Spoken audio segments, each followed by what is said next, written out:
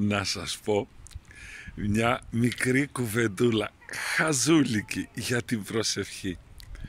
Έλεγε καιρό Παΐσος παιδάκι μου όταν προσεύχεσαι αν προσεύχεσαι για όλους τους ανθρώπους, για όλους, για όλους, για όλους, για όλους τους ανθρώπους.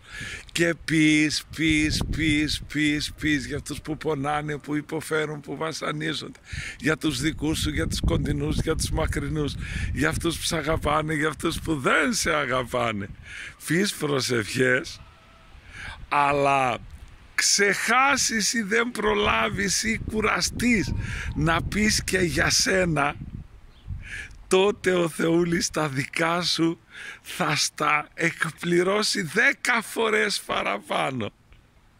Αν όμως κάνεις προσευχή και νοιάζεσαι μόνον τον εαυτούλη σου και δεν νοιάζεσαι κανέναν άλλον πάνω στη γη, τότε δεν θα είναι εκεί ο Θεός να σε ακούσει.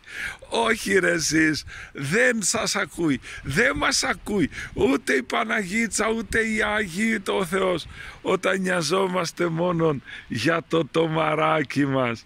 Το θέλει ο Θεός να νοιαζόμαστε για όλους, να νοιαζόμαστε και για τους άλλους, να γονατίζουμε και να κλαίμε ακόμα και για αυτούς που δεν μας αγαπάνε. Το θέλει, το θέλει ο Θεός.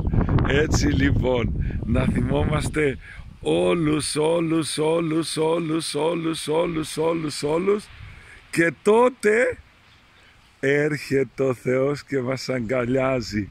Το μαζί αγκαλιάζει ο Θεός. Το μαζί, όχι το χώρια. Άιτε, μαζί να τα περάσουμε όλα.